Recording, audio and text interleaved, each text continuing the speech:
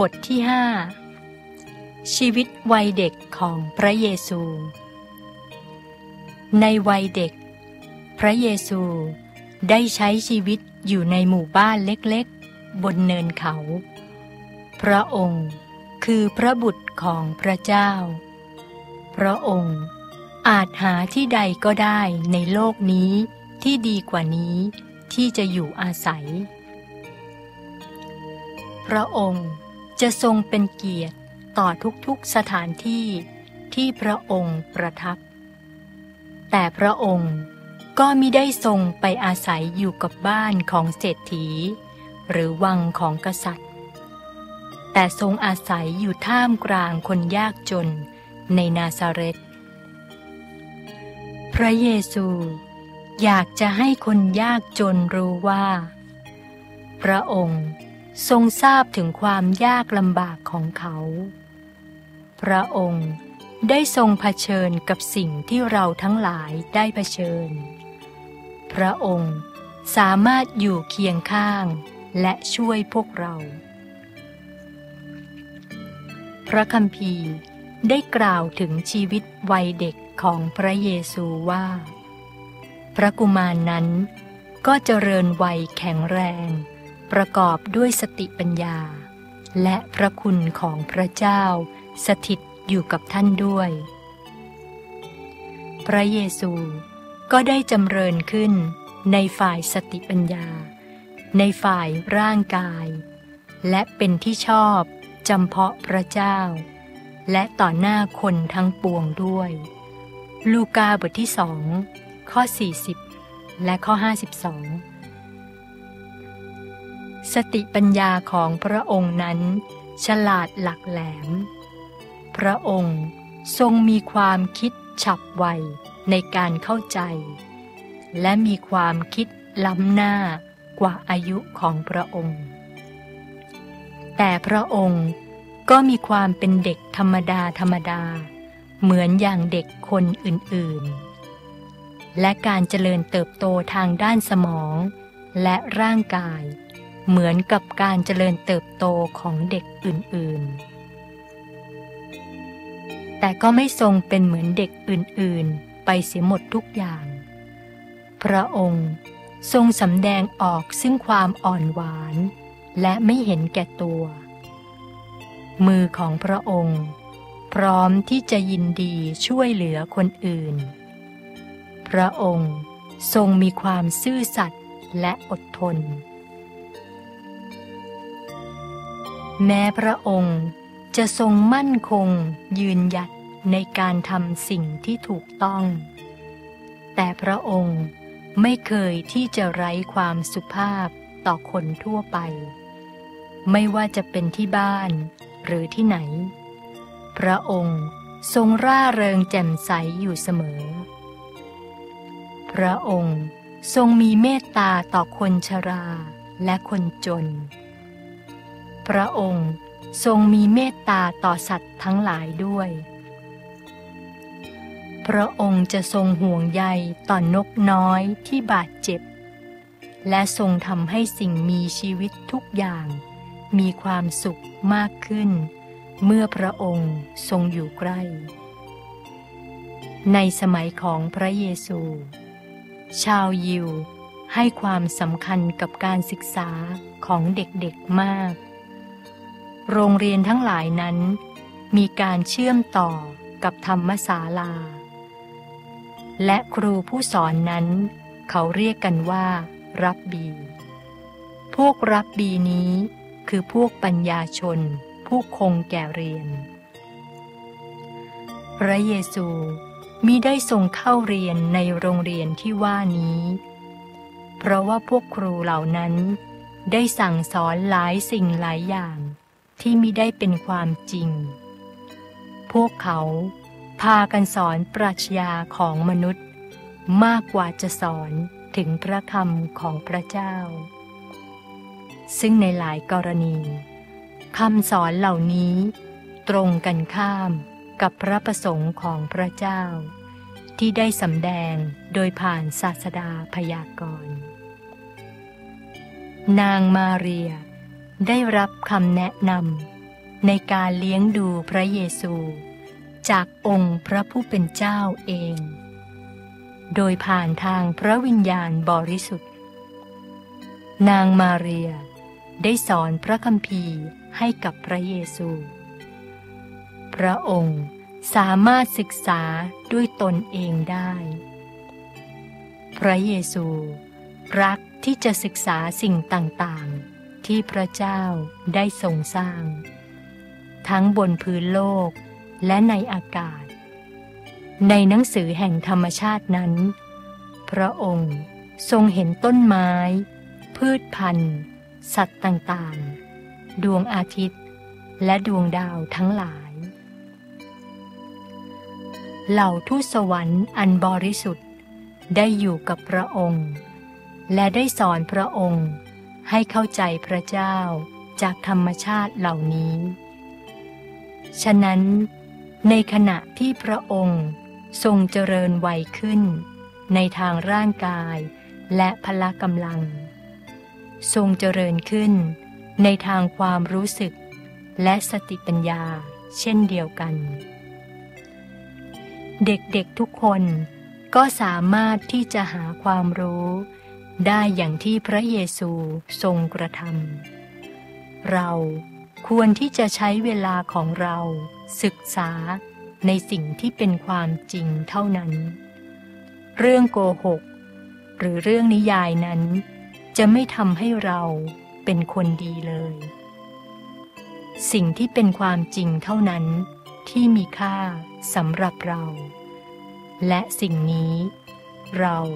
สามารถจะเรียนรู้ได้จากสิ่งที่พระองค์ทรงกระทำและพระคำของพระเจ้า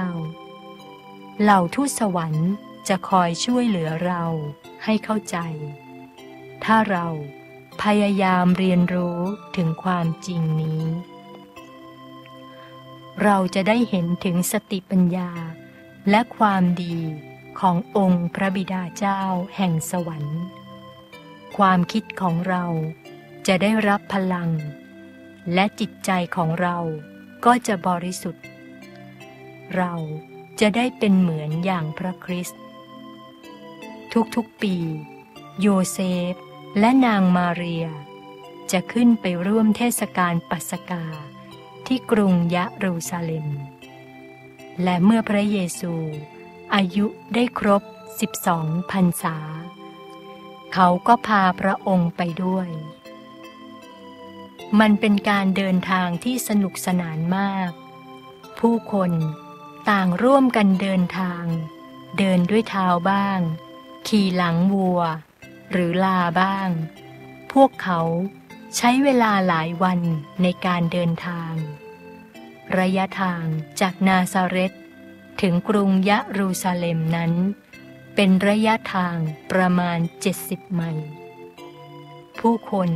ได้หลั่งไหลมาจากทั่วทุกสารทิศ แม้กระทั่งจากต่างประเทศ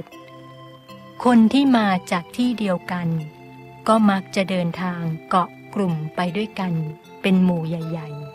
ๆ เทศกาลนี้มีขึ้นในระหว่างช่วงปลายเดือนมีนาคม กับต้นเดือนเมษายน ซึ่งเป็นช่วงฤดูใบไม้ผลิในปาเลสไตน์ในฤดูนี้จะมีดอกไม้บานสะพรั่งทั่วไป และนกทั้งหลายก็ร้องเพลงอย่างร่าเริง ในขณะเดินทาง พวกพ่อแม่ก็จะเล่าให้ลูกหลานของเขาฟัง ถึงเรื่องราวที่พระเจ้า ได้ทรงช่วยเหลือพวกยิสราเอล ตลอดมาในอดีต และบ่อยครั้ง เขาจะร้องเพลงจากบทเพลงสดุดีของกษัตริย์ดาวิด ในสมัยของพระเยซู ผู้คนต่างพากันเย็นชา และปฏิบัติต่อพระเจ้าเพียงเป็นพิธี พวกเขาคิดถึงความสนุก และความสบายของตนเอง มากกว่าที่จะสนใจในความดี ที่พระเจ้าต้องการจะให้เขากระทำแต่พระเยซูมิได้เป็นอย่างนั้น พระองค์รักที่จะคิดถึงพระเจ้าเสมอ เมื่อพระองค์เสด็จไปยังพระวิหาร ทรงเฝ้าดูปุโรหิต ปฏิบัติภารกิจของเขา พระองค์ทรงก้มลงนมัสการร่วมกับคนอื่น ในขณะที่คุกเข่าอธิษฐาน และร้องเพลงถวายสรรเสริญร่วมกับเขา ทุกเช้าและเย็นจะมีการถวายบูชาลูกแกะ บนแท่นบูชา ซึ่งเป็นเครื่องหมายเล็งถึงการสิ้นพระชนของพระผู้ช่วยให้รอด ในขณะที่พระเยซู ทรงมองดูเหยื่อที่บริสุทธิ์นั้น พระวิญญาณบริสุทธิ์ ก็ได้ทรงสอนให้พระองค์ ทราบถึงความหมายของการฆ่านั้น พระองค์ทราบดีว่า พระองค์นี่แหละเป็นลูกแกะของพระเจ้า และจะต้องถูกฆ่าตาย เพราะความบาปของมนุษย์ ด้วยความคิดเช่นนี้ พระเยซูจึงทรงอยากอยู่คนเดียว พระองค์จึงไม่ได้อยู่กับพ่อแม่ของพระองค์ในวิหาร เมื่อพ่อแม่เดินทางกลับจากยะรูซาเล็ม เขาหาพระองค์ไม่พบ ในห้องห้องหนึ่งในวิหาร มีโรงเรียน ซึ่งมีรับบี เป็นครูผู้สอน พระเยซูได้เข้ามาณที่โรงเรียนแห่งนี้ พระองค์ทรงเสด็จประทับนั่งต่อหน้าครูผู้สอน ร่วมกับเด็กคนอื่นๆ และตั้งใจฟังคำสอนของครูเหล่านั้น พวกยิวมีความคิดที่ผิดๆหลายอย่าง ที่เกี่ยวกับพระมาสิหา พระองค์ทรงทราบดี แต่ไม่ได้ทรงคัดค้านหรือโต้แย้งผู้คงแก่เรียนเหล่านั้น พระองค์เพียงแต่ทรงถามคำถามเกี่ยวกับสิ่งที่ศาสดาพยากรณ์ได้เขียนไว้เกี่ยวกับเรื่องนี้ โดยหวังว่าจะได้เรียนรู้เพิ่มเติม ในยัสยาบทที่ 53 หนังสือของอิสยา มีข้อความที่กล่าวทำนายถึงความตายของพระผู้ช่วยให้รอด พระเยซู ทรงอ่านข้อความนี้ และทรงถามถึงความหมาย พวกรับบีไม่สามารถตอบคำถามนี้ได้ แต่พวกเขา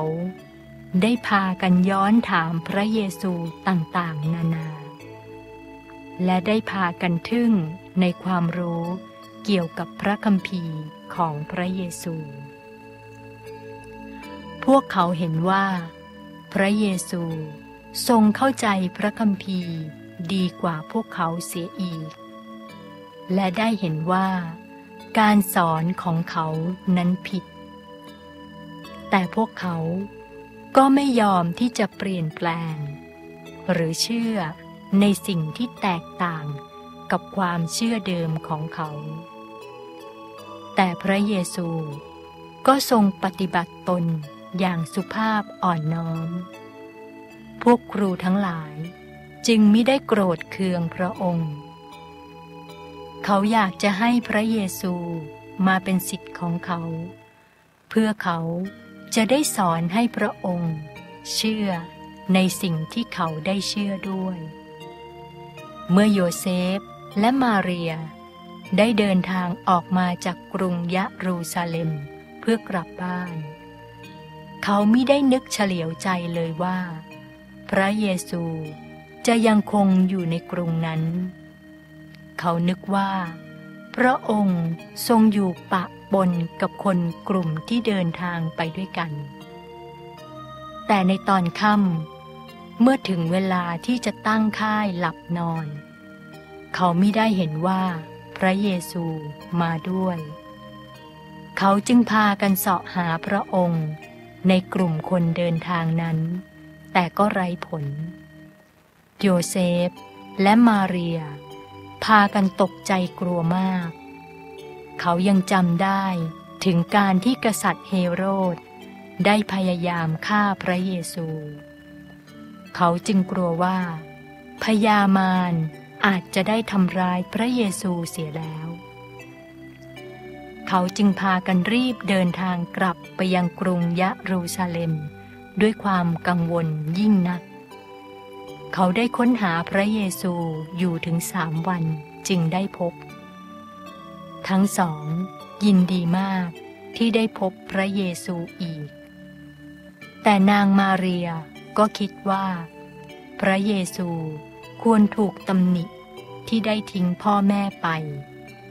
หล่อนจึงพูดว่า ลูกเอ๋ยทำไมจึงทำแก่เราเช่นนี้ นี่แน่พ่อกับแม่ แสวงหาเป็นทุกข์ยิ่งนัก ท่านเที่ยวหาฉันทำไม พระเยซูตอบ ท่านยังไม่ทราบหรือว่า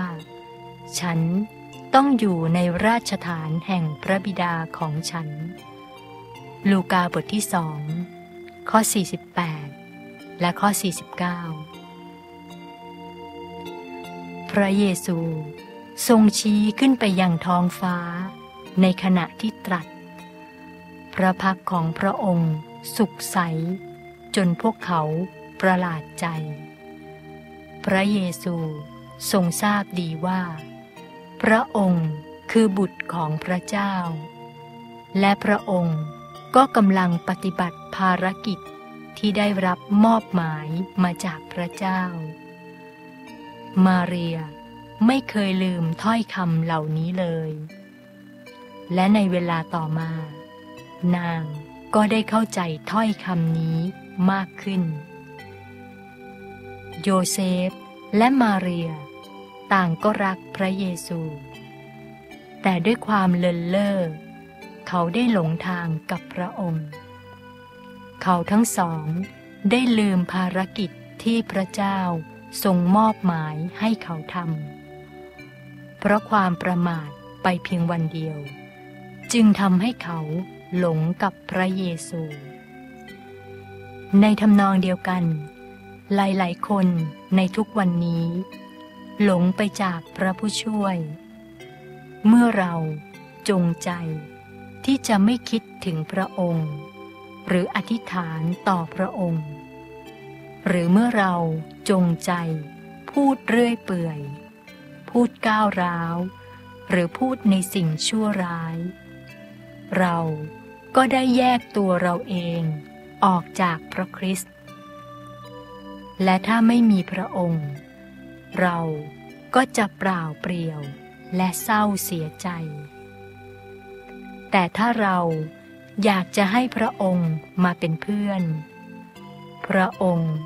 ทรงเต็มใจที่จะอยู่กับเรา พระองค์ทรงเต็มใจที่จะอยู่กับทุกคนที่แสวงหาพระองค์ พระองค์จะทรงทำให้บ้านของคนจนสดใส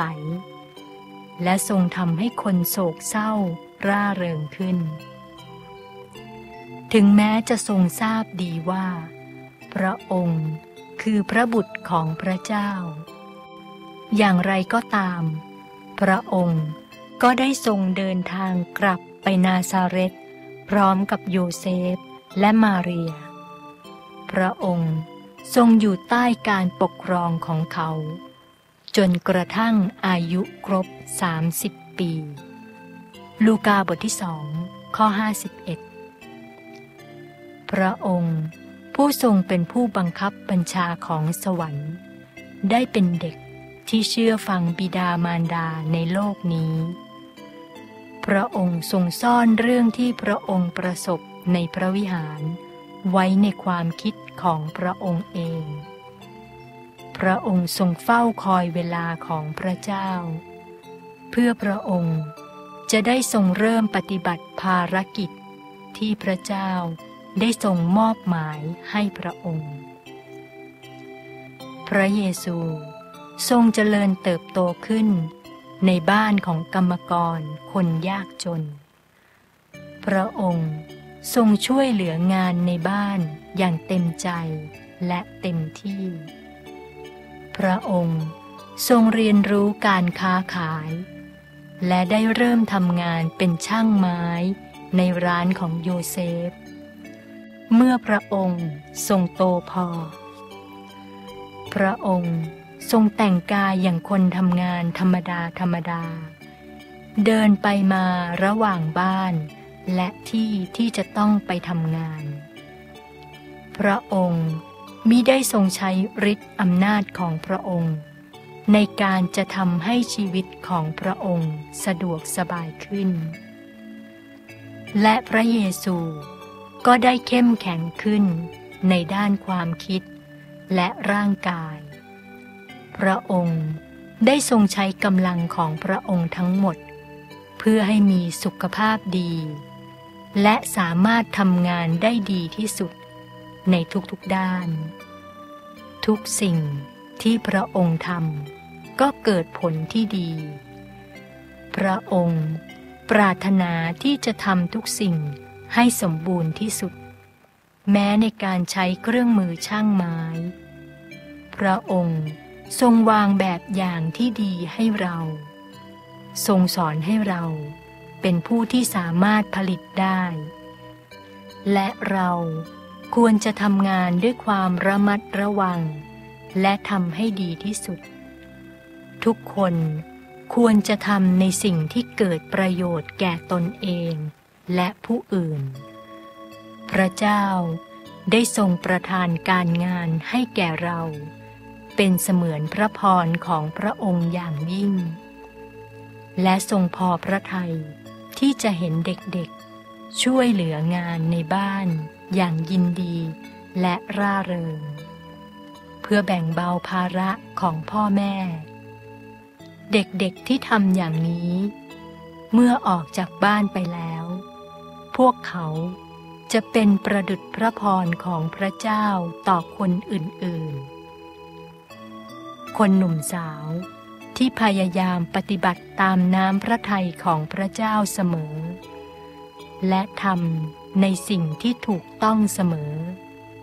จะมีประโยชน์แน่นอนในโลกนี้ การซื่อสัตย์และถ่อมตน จะช่วยให้เขาเหมาะสมสำหรับตำแหน่งที่สูงขึ้นไปอีก